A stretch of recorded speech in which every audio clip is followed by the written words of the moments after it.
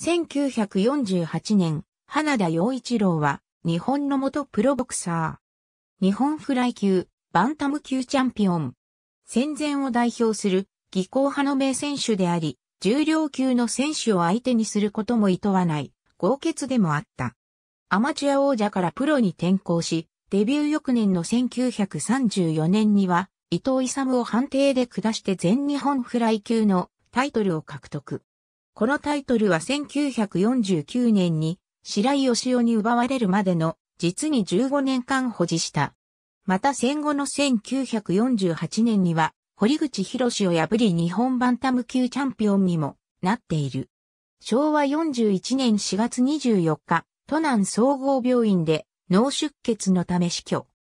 そのスピードと軽快なフットワークで、今牛若丸と呼ばれ、対戦相手が後ろから殴られたと形容したほどのテクニシャンであったが、20年近い選手生活を通じて挙げた勝ち星93勝のうち、子はわずかに一つしかない。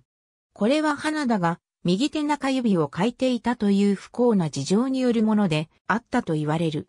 前述の通り、1949年1月、花田は白井義雄の挑戦を受けた。両者は1947年に一度対戦しており、この時は花田が圧勝していたが、アルビン・アルカーン博士の指導を得た白井は、別人のごとく生まれ変わっていた。カーン博士の提供する豊富な物資と万全のコンディショニングに支えられた白井と全野手を飲んでいたとも言われる花田との差は多いがたく、花田は白井の鋭い左ストレートを幾度となく浴び、5回にはロープ際に追い詰められ、強烈な左ボディアッパーを叩き込まれた。この一撃で花田はマットに沈み、立ち上がることができなかった。カーンの指導によって真の近代的ボクシング技術を身につけた白井と、戦前を代表する、技巧派花田とのこの一戦こそ、日本の近代ボクシングの幕開けとなった試合と言えるかもしれない。そして、花田に代表される、拳号の時代は終わったのである。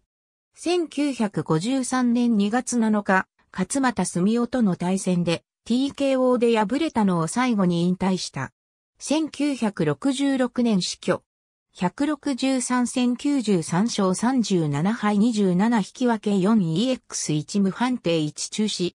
AB、海底造保ボクシング100年株式会社時事通信社。1970年6月1日、213ページ。昭和人物辞典戦前期 P625。ありがとうございます。